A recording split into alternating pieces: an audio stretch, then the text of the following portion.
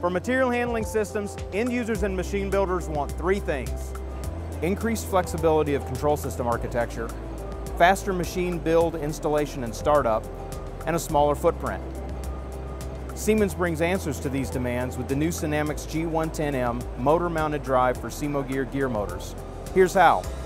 First, it's all about control.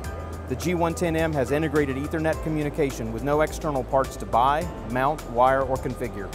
That means you get Profinet, ProfiSafe, and Ethernet IP all in one unit with the same part number. Standardize on one piece of hardware no matter what network you install it on. This is great for machine builders who need to meet different end user specifications or who export. With onboard I.O. and built-in PLC functionality, you can do simple systems without any higher level network. This system is being controlled directly from the push buttons. If you do network the drive, the I.O. points on the drive are simply network I.O. to use however you choose. Now let's look at footprint and installation.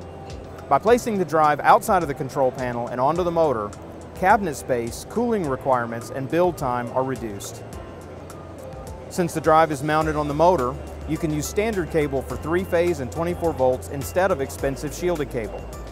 Motor brake control is integrated into the unit. Do you ever need to use dynamic braking and a motor brake together? The G110M allows you to use a motor brake and a brake resistor at the same time. Unlike some other drives, it does not use the motor brake coil as a braking resistor.